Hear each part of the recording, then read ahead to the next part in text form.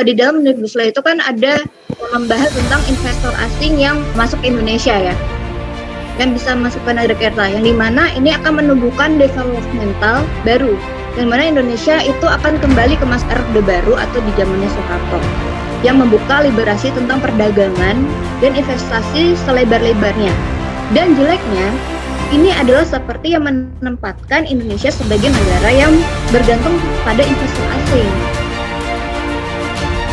apakah dengan disahkannya Omnibus Law ini dapat memperbaiki kualitas regulasi di Indonesia?